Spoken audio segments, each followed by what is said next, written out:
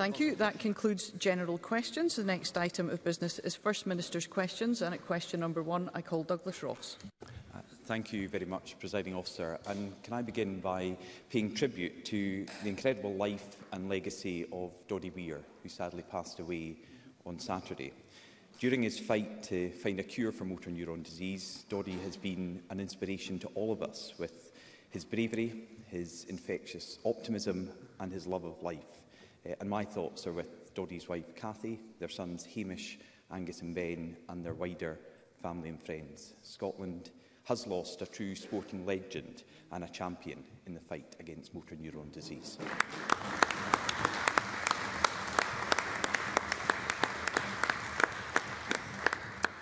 Uh, Presiding officer, in the last week, a uh, United Nations expert on violence against women offered to provide expertise to the First Minister on the Gender Recognition Bill. Uh, Rima Salim raised concerns that the bill would potentially open up the door for violent males to abuse the process of acquiring a gender certificate. Her report states, and I quote, this presents potential risks to the safety of women in all their diversity, including women born female, trans women and gender non-conforming women. Last night, the Scottish Conservatives asked Parliament to simply acknowledge the report of the UN Rapporteur, eh, but the First Minister voted against it. Eh, First Minister, why can't you accept the concerns raised by the United Nations Special Rapporteur? First Minister. Uh, firstly, Presiding Officer, can I also take the opportunity to pay tribute to the life and legacy of Doddy Weir. He was a hero on uh, the rugby pitch, but he was perhaps even more so, an inspiration off of the rugby pitch. Uh, there is, of course, a question later in this session of FMQs that will allow me to pay more fulsome tribute to Doddy, uh, but for now, uh, let me say that my thoughts and condolences are with his wife, children and all of his loved ones. Um, on the specific issue, uh, not only do we acknowledge the comments uh, made, it's not a UN report, these were comments by a UN Special Rapporteur. Uh, not only have we acknowledged that those comments have been made, uh, the Cabinet Secretary has written a substantial response to them. Uh, I believe that response can be found on the Scottish Parliament uh, website because it was sent to the Equalities Committee, which of course is the lead committee uh, on this bill. Of course, a number of organisations uh, representing uh, women who suffer uh, male violence and abuse, including Rape Crisis Scotland, and Scottish Women's Aid uh, have been part uh, of a number of organisations who have responded as well and have set out uh, in a, a number of respects why they disagree uh, with those comments. Um, I take the safety of women and girls uh, very seriously, perhaps more seriously than any uh, other issue, as I'm sure all of us do. I've spent uh, much of my adult life and indeed all of my years in public office uh, seeking to do things along with others to help advance the rights of women and girls and to ensure better protection for women and girls uh, against male violence. Uh, of course, any uh, man who wants to abuse a, a woman, uh, certainly in my experience, and I think this will be shared by many across the chamber, uh, do not need uh, to in some way pretend to be a woman in order to do so. Uh, And any who uh, did feel that need, of course, don't need a gender recognition certificate. Our focus as a parliament, our focus as a society, uh, should be on those who perpetrate violence against women and girls. Uh, and that is men, uh, not all men, of course, uh, but it is men who abuse women, and that should be our focus. In taking on these issues and debating these issues fully and respectfully, which I believe is really important, what we should not do, in my view, is further stigmatise a group in society, a very small minority in society, who are already perhaps the most marginalised and stigmatised group in society. I'm, of course, talking about trans people. In any group of society, um, where there are bad faith actors, we deal with them. We don't stigmatise the entire group. And I believe that very strongly as well. Douglas Ross.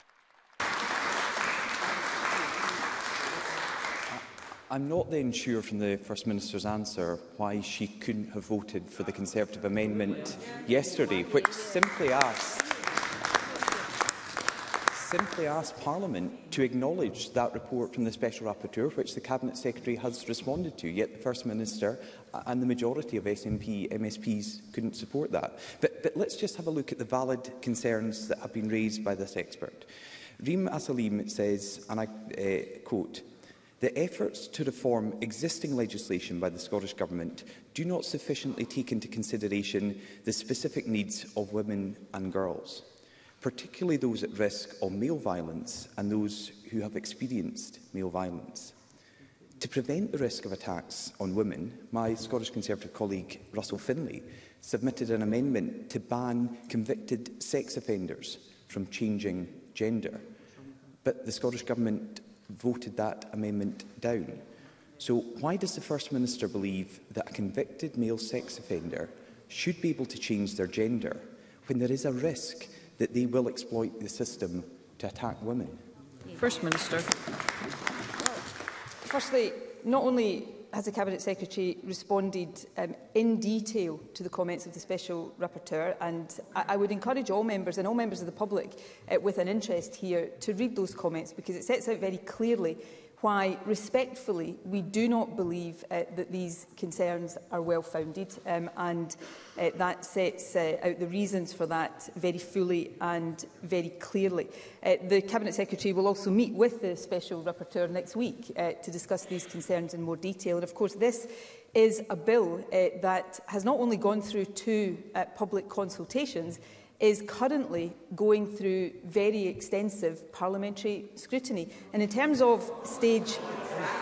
Well, in terms of stage uh, two of the bill, um, a number of amendments uh, have been passed uh, and that has responded uh, to a number of the concerns that have been raised uh, with members across all sides of this chamber.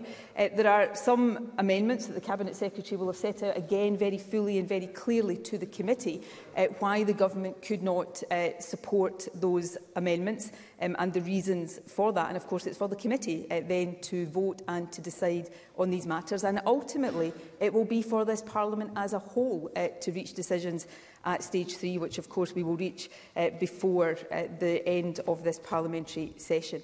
Um, these are uh, difficult issues that, that people have difficult, uh, that have strong views on, um, on different aspects of this. I think it's really important that we engage seriously, that we engage respectfully, that we engage in detail, um, and that we remember all of us all of us see protecting women and girls as a priority, but I hope all of us uh, also see protecting the rights of trans people as important too. Um, and actually, I feel that part of my duty is to set out clearly why I do not believe, having considered in great depth all of these issues over a long period of time, why I do not believe these objectives are conflicting. Um, in fact, uh, I believe that it is important we advance both of these things, and that is what the government is seeking to do. Douglas Ross. I, I agree with the First Minister that, that we have to treat this with the seriousness and, and respect it deserves and look into detail with these things. But again, I asked a very simple question as to why the government couldn't support Russell Finlay's amendment, uh, and we got no answer on that. I, I think we should surely all be able to agree that convicted male sex offenders should never be able to change their gender. Uh, this is not about trans people. These people are criminals, and that is exactly what Russell Finlay uh, was trying to stop. But the First Minister is also trying to say that the government has dealt with this issue, but the UN expert says differently. The Special Rapporteur said this, The Scottish Government does not out, spell out how it will ensure a level of scrutiny for the applications made to acquire a gender recognition certificate.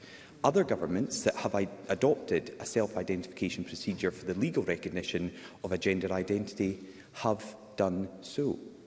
So other governments did the necessary work before changing the law, but the First Minister hasn't. And right now, there are live court cases that could have a material impact on this bill. The UN expert says the government should, as a minimum, await the outcome of the judgments on these very issues in front of both Scottish and UK courts. So the First Minister said this bill is currently going through extensive scrutiny. Therefore, surely, First Minister, you must agree to pause the bill until we've heard these legal judgments. First Minister. It's ultimately for for Parliament uh, to determine whether or not a bill passes uh, through this chamber. Um, on the issue of sex offenders, um, let me set out uh, in more detail the reasoning uh, for the government's position on that particular amendment. Uh, current provisions for management of sex offenders are robust and effective. However, uh, we will expand, and this has been made clear during stage two, we will expand the reporting requirements to include notification about an application for gender recognition. Um, it's important to point out that under the existing process in the 2004 Gender Recognition Act,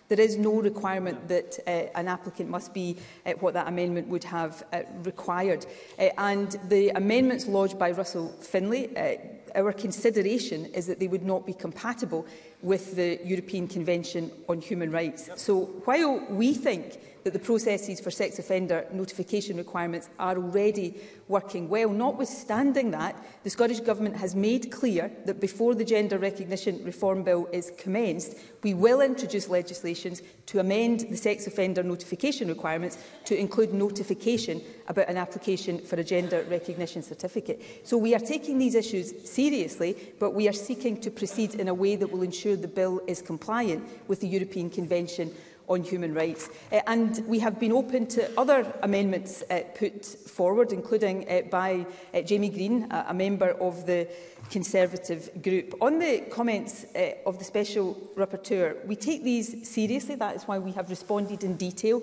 But respectfully, we do not uh, believe that those criticisms are well founded um, and that's not uh, a view that we hold alone. Organisations that work day in and day out with women and girls Briefly, who are First subject Minister. to male violence. Rape Crisis Scotland, Scottish Women's Aid uh, also uh, believe that uh, many of these criticisms uh, and concerns are not well founded. So we'll continue to proceed carefully Uh, there has been considerable consultation and considerable scrutiny of this bill, and that is right and proper. Douglas Ross. On the First Minister's uh, response on sex offenders. We know as a result of a Scottish Conservative Freedom of Information request that in the last three years in Scotland, more than uh, 500 times a sex offender has changed their name. So if they can change their name so easily and for the reasons they want to, why would they not also change their gender if this now becomes uh, easier as a result of this legislation? Uh, I also asked, and, and I know and I understand this was a complex issue, and the, the First Minister didn't, the First Minister didn't mention the point about the live legal cases that are currently ongoing for which the Special Rapporteur asked for this legislation to be delayed. Those ju judgments are crucial and a delay would be sensible. It is far better that this government and this parliament makes good laws rather than quick laws. We want to make legislation with full and proper consideration of all of the implications. But for some reason, the government seems determined to rush ahead at full speed to put this bill through this month The experts and women gr women's groups say could have potentially damaging consequences. Now, the First Minister said the Special Rapporteur's criticisms are not well formed. Rima Salim is a United Nations expert. She is a Special Rapporteur on Violence Against Women and Girls. I personally think very few people can speak with greater authority on women's safety. The Scottish Parliament, including the committee in charge of scrutinising this bill, has not had the chance to examine her evidence and hear from her in person, which the Cabinet Secretary will be doing. So will the First Minister agree today to pause this legislation so we can properly consider the findings of a leading global expert on this crucial matter? First Minister. Well, firstly, I cannot comment on live legal cases uh, and would be open to criticism if I did. Secondly, regardless of any individual's view on this legislation, uh, one thing that cannot be said uh, with any credibility or basis in fact is that it is being rushed through this Parliament. This process, through consultation, Uh, introduction of draft legislation, introduction of legislation, the uh, formal parliamentary scrutiny process has been underway now, I think, for a period of six years. This has not been rushed. Um, this has been done carefully and rightly so. Let me respond uh, before I come on to, uh, again, the issue of the UN Special Rapporteur, to the issue about registered sex offenders. It is the case already that registered sex offenders must by law notify the police of any change of name, uh, that requirement applies to an individual irrespective of what name they use or what gender uh, they identify uh, with. And that is important. Disclosure Scotland takes steps already to ensure that a person requesting a disclosure certificate does not succeed in avoiding the disclosure of any previous convictions by using a different name. So it's important to recognise the protections that are already in place, that this bill does nothing to change. And many of the issues that are being talked about here and many of the issues that are sparking concern, I accept, are not issues that are changed or impacted in any way by the detail of this specific legislation. Now, coming back to the Special Rapporteur, it is because we respect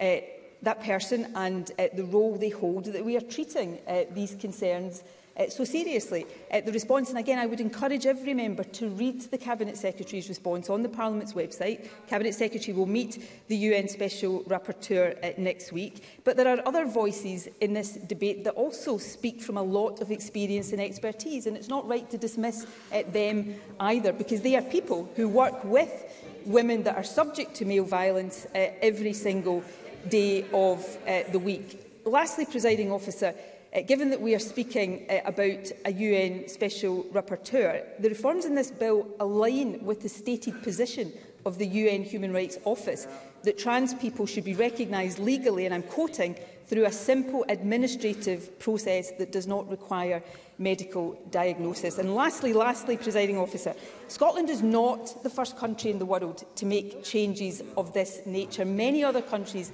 have done so. And as the Cabinet Secretary's response to the UN Special Rapporteur sets out, the concerns that are being raised in the context of our legislation it eh, have not materialised in the experience of other countries who are ahead of us. So let's continue uh, to treat these issues seriously, respectfully and calmly and allow Parliament to continue to do its job properly. Question number two, Anna Sarwar. Presiding officer, I'd like to join others in paying tribute to the late Doddy Weir. Eh, it was clear throughout his life, both as a player and a campaigner, that he was a force to be reckoned with. Eh, he viewed his heartbreaking diagnosis of motor neuron disease as a call to action and bravely shared his story with the world, raising millions of pounds for that cause. He was an inspiration to us all and a champion for those battling MND and our thoughts are with his family and friends at this difficult time. Presiding officer, breast cancer chemotherapy in NHS Tayside has collapsed, leaving vulnerable women travelling across the country to receive life-saving treatment. At the root of the problem is a chemotherapy dosing scandal that has gone on for three and a half years. Yesterday, the Courier released a documentary where the women affected and grieving families demanded answers. We now know that nobody believes the conclusions of the reports commissioned by the First Minister's government. Patients don't believe them, the doctors don't believe them, and even the whistleblower who first raised the alarm described the conclusions of the reports as nothing more than a guess. For years, Labour has raised this issue and been dismissed by this government. So will the First Minister order an independent inquiry to restore confidence, to relaunch the service and give patients and the public the facts they need. First Minister. Well, firstly, before responding uh, to the very serious issues that have been raised, can I say, first of all, that Anna Sarwar is wrong to describe the Tayside service as having collapsed. Uh, that neither comes close to accurately describing the current service, nor does it do anything to help any current patients or the dedicated doctors that are working within that centre. And let me illustrate that point, because it is a really important point for those, uh, particularly those in Tayside who might be watching this right now. Uh, there are around 150 new patients referred to Tayside breast services every week. Out of them, around seven will receive treatment in another centre. Uh, so it is just wrong, and I think shamefully wrong, to use the word collapsed to describe a service in which uh, doctors are working in a dedicated fashion, in which many uh, patients are being treated every single week. Um, in terms of the uh, issues about the review, these are serious issues. These are issues uh, that require to be assessed uh, by experts and by clinicians. Uh, I am not, and politicians uh, are not uh, clinicians with the expertise to reach uh, judgments ourselves on uh, these matters. I will look carefully at what has been reported today, as will the Health Secretary, and if there is further Uh, a further process of review that is necessary, we will not shy away from uh, taking that. Uh, the RCP review commissioned by NHS Tayside into prescribing practices up to early 2020 uh, happened. The, the board will be implementing all of its uh, recommendation. That review looked at a random selection of case notes from before and after uh, the HIS e review uh, and confirmed variation in practice against national norms, as the history review had already found, uh, but pointed to a range of improvements in practice uh, since then. And the authors of that RCP review included four oncologists, uh, and of course its findings aligned with previous published reviews, including that of Healthcare Improvement Scotland. So we will continue to take these issues uh, seriously, uh, but we will also do so responsibly. Anna Sarwar. I, I would suggest the First Minister actually watches the documentary and listens to the stories of staff at NHS Tayside and the experiences of families. There are zero breast cancer oncologists in Tayside. Zero. If zero doesn't equate to collapse, then I'm not sure what definition the First Minister would use. And this does have consequences for staff. There is a workforce crisis across our NHS, but particularly felt here in Tayside. A recent Freedom of Information request showed there are nine vacancies in the oncology department, with the lead breast cancer consultant post now vacant for 839 days. That has consequences for patients too. Over 200 women have had to travel to other parts of the country to get their treatment. In February, the First Minister said this was unacceptable, but since then things are getting worse. The government's failure to get a grip of this crisis is putting women's lives at risk. At one of the most traumatic times in a woman's life, they are facing additional barriers to treatment and all the anxiety that comes with that. So can the First Minister tell us when local oncology services will be restored and can she guarantee that breast cancer oncology services have a future in Tayside? First Minister. Oh. Anna Sarwar asked about watching uh, the documentary. I will certainly uh, take the time to do that. But the Health Secretary hasn't just watched the documentary, he took part in the documentary. Uh, these issues are issues that all of us uh, take seriously. The Cabinet Secretary is meeting with the current clinical teams next week. And let me take the opportunity to assure patients in Tayside that they have a very committed and compassionate team of doctors that deliver excellent care. Uh, recruitment efforts are ongoing and indeed Uh, there has been recent success in recruit recruiting a consultant in colorectal uh, cancer in uh, Tayside. Uh, Tayside uh, NHS, though, works closely with oncology teams in the other four cancer centres across Scotland to ensure that patients who need treatment are prioritised uh, appropriately. And let me repeat what I said in my original answer. Yes, there are challenges in the Tayside service. Yes, there have been reviews that have been necessary. If there are further reviews, we will not shy away uh, from those, and there is further work uh, to be done. But 150 new patients referred to Tayside breast services every week, and of them, just seven have to go to another centre to receive treatment. So it does a disservice uh, not, not to raise these issues. It is absolutely right to raise these issues, but it does do a disservice to those working uh, in that centre to describe it as being in a state of collapse, because that is not the case. Anna Sarwar. Uh, First Minister, the women in Tayside don't want to see the health secretary in a documentary. They want to see a breast cancer oncologist in Tayside. And that problem has still not been fixed. Eh, and I'm sorry, but the First Minister has said little today that will reassure women in Tayside and their families. We do have a failing cancer service, and that is, means staff are being let down, women are being let down, and the First Minister has no serious plan to restore services. And as per usual, Nicola Sturgeon keeps telling us that it is unacceptable, but then accept, expects patients to accept it anyway. And we've seen it again this week ambulances still queuing at A&Es, elderly patients still waiting on trolleys for treatment, the longest waiting lists in history, now over three quarters of a million Scots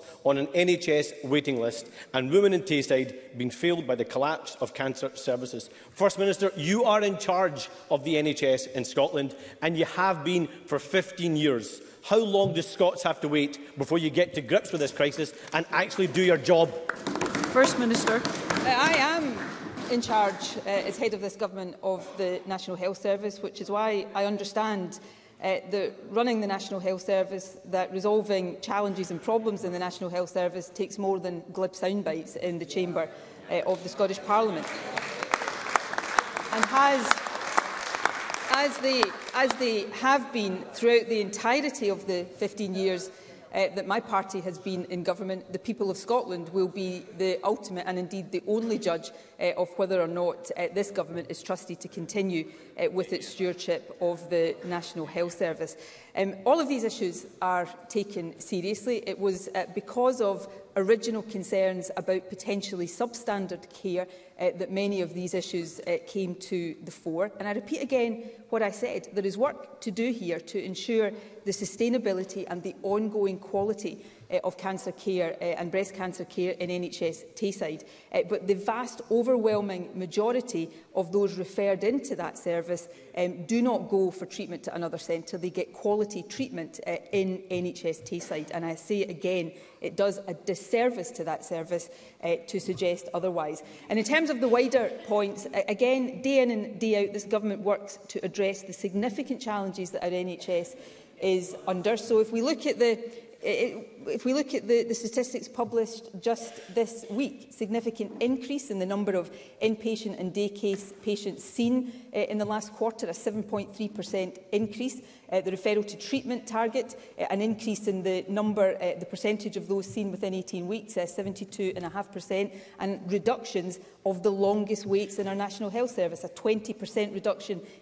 in outpatients and a 22% reduction uh, for inpatient and day cases. Uh, so we will continue to do the hard work of supporting our NHS uh, through these difficult times because that's our job, that's our responsibility, a responsibility given to us by the people of Scotland. Question number three, Gillian Mackay. Thank you, Presiding Officer. As others have, I want to add the thoughts of my party to the tributes paid here to Dodie Weir. His legacy will not just be his rugby, but will be the honesty and bravery with which he faced his health condition and the incredible work he did in raising awareness and funding. I send the most sincere and heartfelt condolences to his family. Their bravery has never failed to astound me, and his sons in particular have been in my thoughts this week. It's awful to lose a parent and they're so young. They've been amazing in accompanying their dad to events over the last few years, and I hope the whole family are getting the support they need.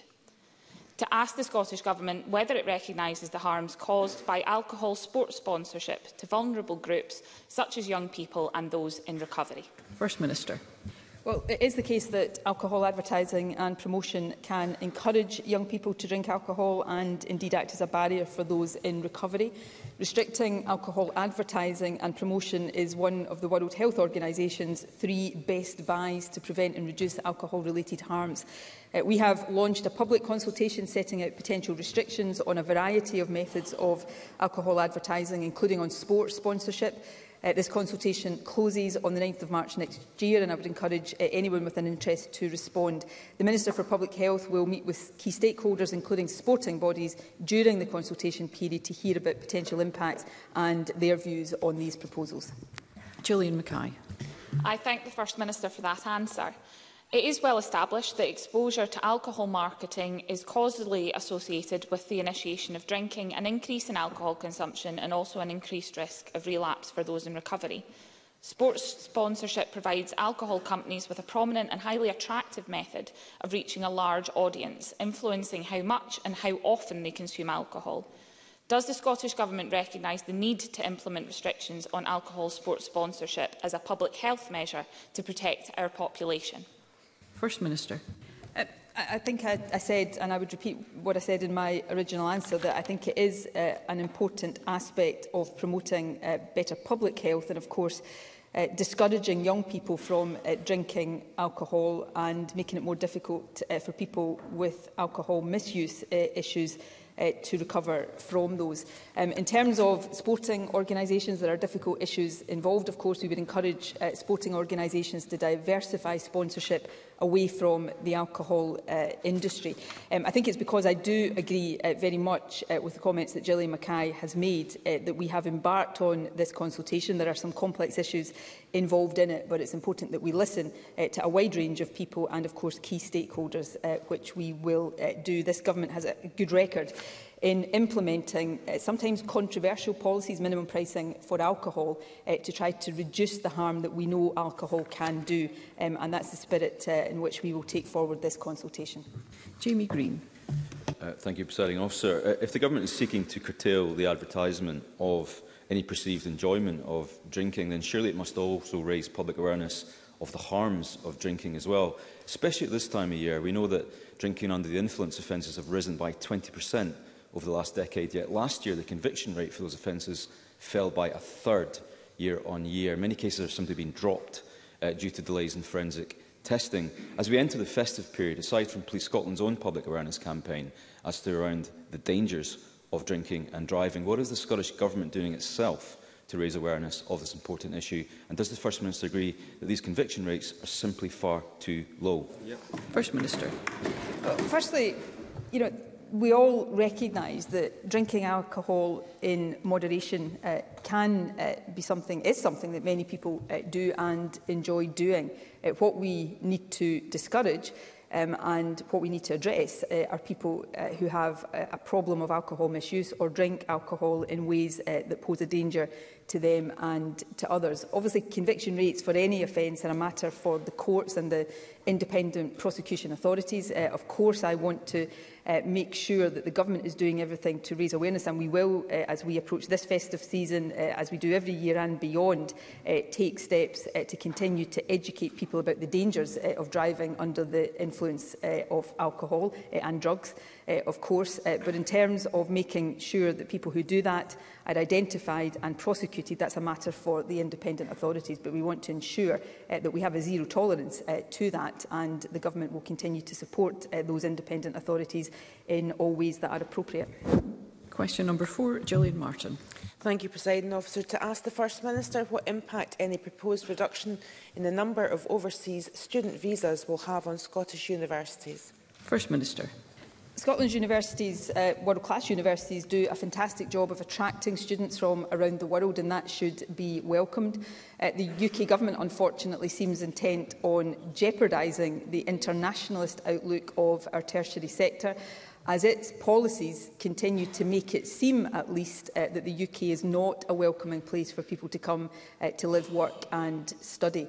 Um, I want to be absolutely clear that international students make a valuable contribution to our campuses, to our society, culture and indeed to our economy. Uh, every year, I think more than 60,000 students from around 180 countries uh, study in Scotland and we should continue uh, to welcome and encourage that. Julian Martin. Thank the First Minister for that answer and the proposals that seem to be outlined by the Prime Minister seem at odds with, with the, the positive aspects of, of universities that she's just outlined. Universities UK um, which represents most Scottish universities, said that international students make a net positive contribution of £25.9 billion pounds to the UK economy and are the source of 70% of education export earnings. Can the First Minister give an initial assessment of the economic impact um, any reduction in uh, student visas from the UK government could have on Scotland's economy. And in a time where Tory and Labour-backed Brexit has already had a devastating impact on research collaboration between our Scottish universities and their EU counterparts, how might this uh, also impact remaining international collaborations? And crucially, what can we do in Scotland to safeguard our universities from reckless UK plans like this? First Minister. Well, firstly, uh, restricting the ability of international students to come uh, to study in Scotland will have an adverse impact on our education institutions, I think on our society, which is more uh, diverse and vibrant because of that contribution, and uh, it will have an adverse impact on our economy as well. I mean, let me uh, just quote uh, the Director of Universities uh, Scotland uh, when he said uh, very recently in, in recent days any attempts to cut international student numbers at Scottish universities would be damaging to universities and the Scottish economy. Uh, every year more than 65,000 students from more than 180 countries study in Scotland. This diversity brings significant advantages to both our students and the wider university community as well as generating a 1.94 billion pounds net contribution to the Scottish economy. Uh, that is why we need to do everything we can uh, to make it possible for people to come uh, to live, work and study in Scotland. Uh, Brexit is making that more difficult, uh, as it is making many things more difficult, and we need to uh, find a way back into the heart of the European Union. And to answer Gillian Martin's last question, the only way now for Scotland to do that, given the Tories, uh, Labour and the Liberals uh, seem to support uh, the UK being outside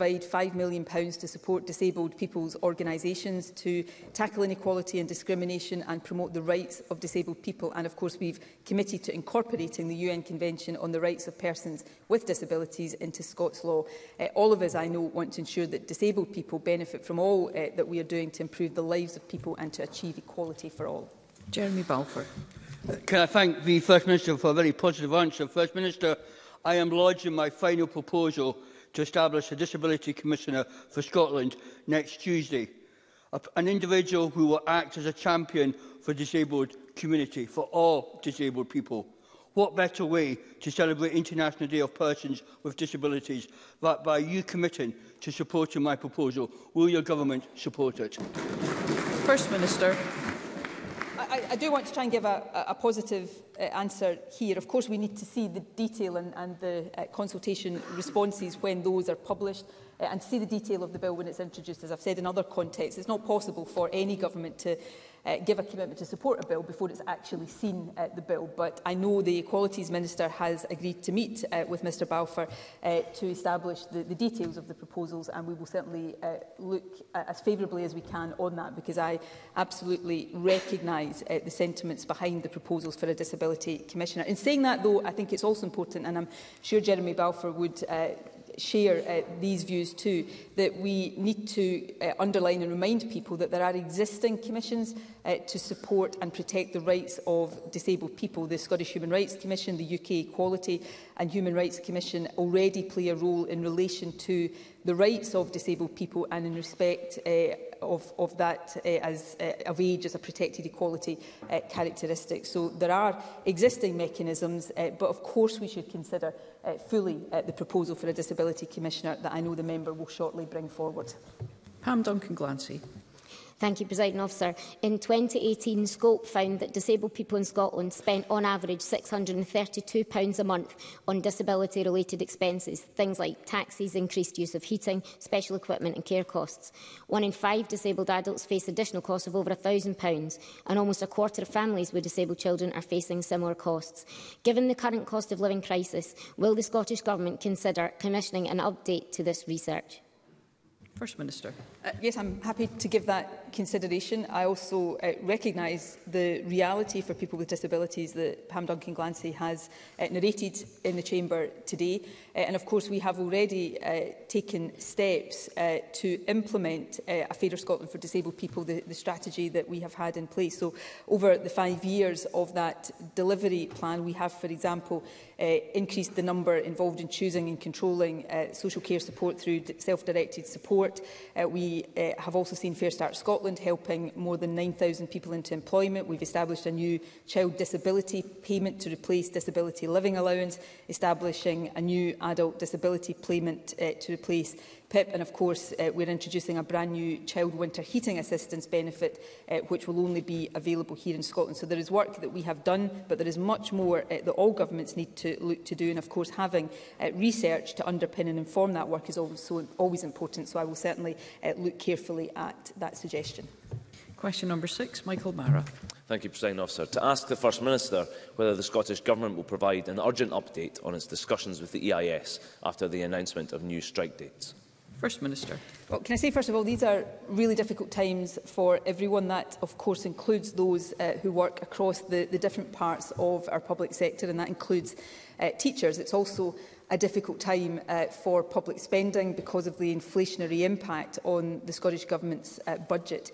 And it's in that context uh, that I say a fair pay offer has been made uh, to teachers. Uh, that's been made as appropriate through the Scottish Negotiating Committee for teachers.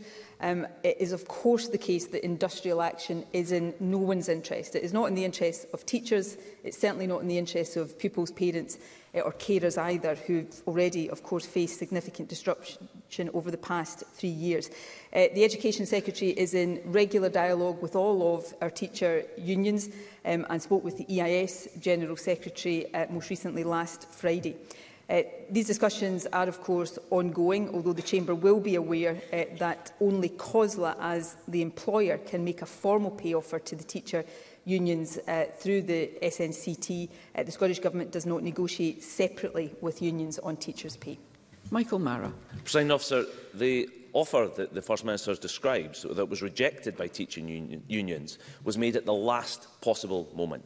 It had sat on the Cabinet Secretary's desk for over three weeks And since the announcement of 16 more EIS strike dates, which will close our schools, deprive our children of their education and throw family life into chaos, no dates for negotiation have been sought or fixed.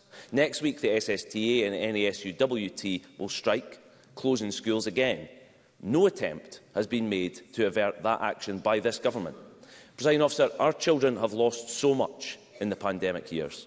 How can they afford a government making so little effort to keep their schools open? First Minister. Well, that's just frankly not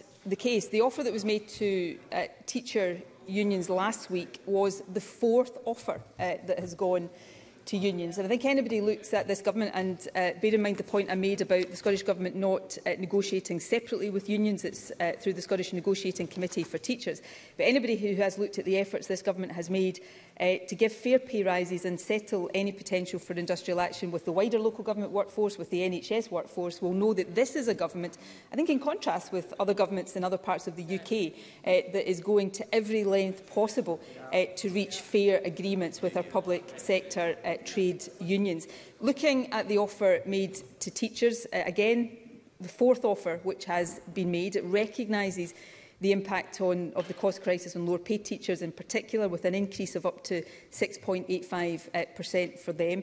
The offer is the same as the offer that has already been accepted by other local government uh, workers. And you know, I uh, have nothing but admiration for our teaching profession. They are uh, rightly paid higher than other uh, workers in, in other parts of the local government workforce. Uh, but they offer in terms of a pay increase that has been made to teachers is the same as that already accepted by the janitor in a school eh, or by the dinner lady working in a school. So it is a fair offer. If accepted, it would mean that since 2018, teachers have had a 21.8% cumulative pay increase. And lastly, presiding officer, uh, we have the highest starting salary in the UK for a fully qualified teacher uh, teacher. Under this new uh, and latest offer, a newly qualified teacher in Scotland would receive uh, £7,400 more than counterparts in England. Our most experienced classroom teachers uh, get £5,600 more than if they were teaching in England on the main pay range. Uh, so we, I think our Briefly record First shows uh, our commitment to teachers um, and I really hope this is an offer that will be accepted in the interest of teachers and pupils across the country. Stephanie Callaghan. Presiding officer, the First Minister has noted already that strikes are in no one's best interest, not teachers and certainly not pupils. Does the First Minister agree that on a fixed budget the Scottish Government has been put in an impossible position by the UK Government with no additional support forthcoming to fund pay offers or mitigate the impacts of inflation?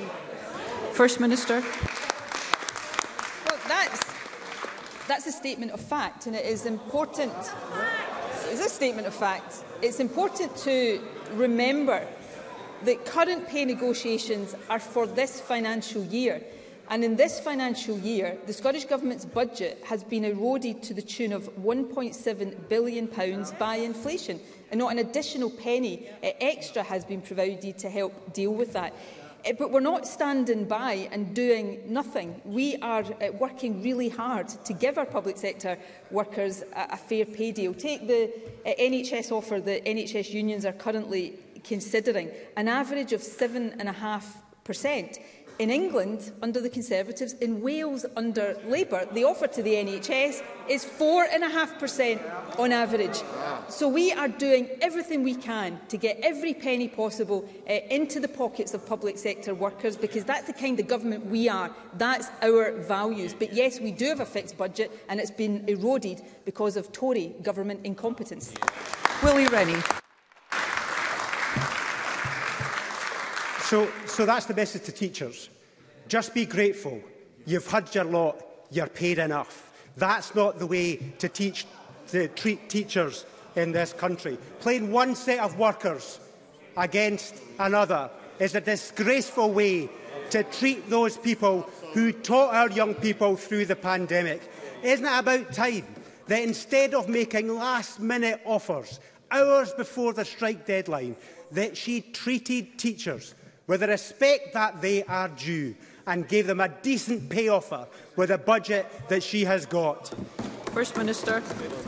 I know Willie Rennie doesn't get much attention these days, but even by his standards, that was a pretty shameful, shameful tone to take on an issue that is so important to teachers, pupils and parents across the country. Let me set out again the way in which we are approaching this. An offer uh, this year uh, that uh, recognises the impact of the cost crisis on the lowest paid teachers and an offer that is as fair and gives as much of an increase to teachers as the janitor and the uh, dinner lady has already accepted. In a fixed budget, part of what we've got to try to do is to be fair across all parts of the public sector, and that is what we are seeking to do. Secondly, an offer that, if accepted, would mean that since 2018, uh, teachers would have had a 21.8% cumulative pay increase. And I think they deserve every penny of it. And uh, an outcome that would mean that our teachers are paid better than teachers in other parts of the UK. Highest starting salary, not just in the UK, the OECD found that starting salaries for teachers in Scotland are 17% above the EU average uh, at primary level. So that's how much we value teachers. Within a fixed budget, we are doing everything possible to get every penny possible into the pockets of public sector workers. Um, and that's the right thing to do. And that uh, tone, frankly, I think will be seen for what it was by people across Scotland.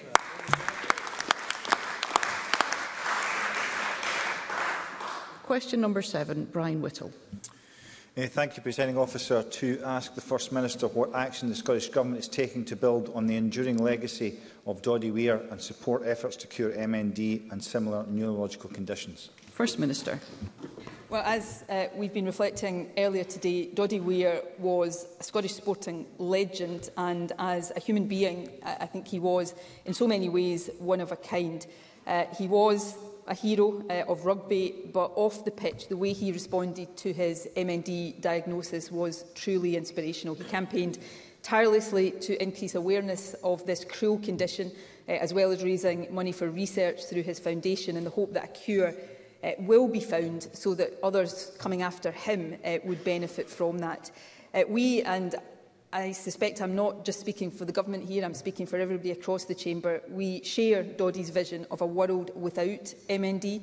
Since 2015, and this has been inspired, and I think it is important to say it, uh, much of the work uh, we did uh, after 2015 was inspired by the campaigning uh, of the late Gordon Aikman, who also uh, deserves great credit here. But we have invested around £700,000 in research uh, looking at uh, the progression of the condition and the development of a pipeline for new treatments. Uh, we've also doubled the number of MND specialist nurses across the country and ensured that they're funded now from uh, and by the NHS and we're currently implementing the neurological care and support framework to ensure that everyone with a neurological condition such as MND can access the coordinated and high quality care that they need.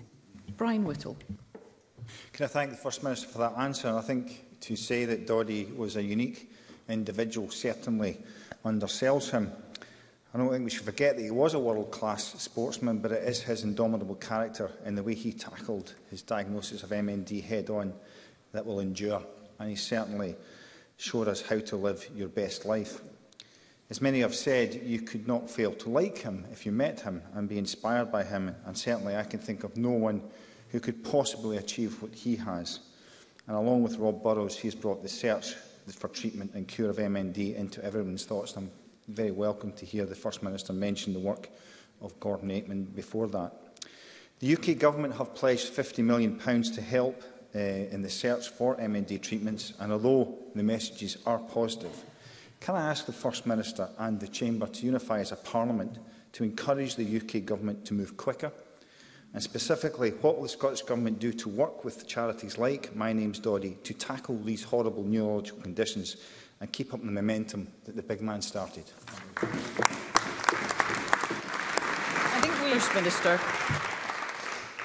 We've, we've all mentioned you know, the practical uh, impact of the work Doddy uh, did and indeed Gordon uh, before him. But what always struck me about Doddy and Gordon uh, was the the courageous way in which they never allowed uh, that horrible condition and the diagnosis of it to, to dim their spirit um, and their love for and, and capacity for life. I think the last time I saw Dodie in person was at Murrayfield um, and his smile lit up the room and you know that fortitude and resilience in the face of something that I don't think any of us really know how we would cope with is utterly inspirational um, and it united Doddy and, and Gordon. And in their memory, uh, we all have a duty uh, to go as far and as fast as we possibly can to find the cure for this condition.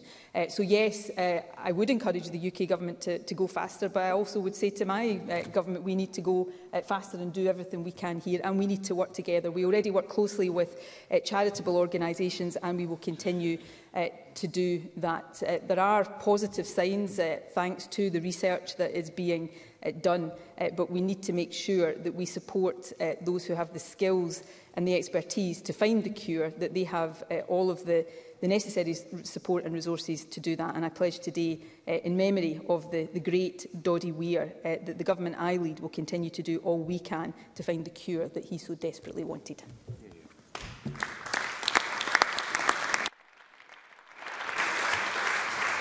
Thank you. That concludes First Minister's questions. I would say that I regret that I've been unable to call any general or constituency questions today, due largely to the length of some exchanges. And I will review today's exchanges to ensure that more members are able to participate in this session each week. Thank you. There'll be a brief suspension to allow members and the public gallery um, before we to leave before we move on to members' business.